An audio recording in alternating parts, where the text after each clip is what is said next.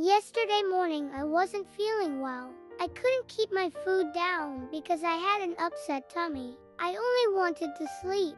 Suddenly, I was in the car. Mom said we were going to the vet, and I remembered the last time I was there. Maybe I'll meet other puppies again.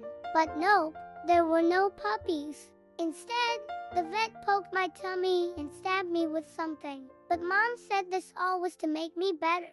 I got sent home with medication. And when we got home, Loulou was very happy. Are you feeling better, Mosy? Yes, I do. I even want to eat a little again.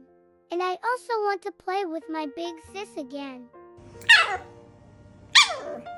And when I did my little nibbles while watching TV, Mom knew I was feeling all better.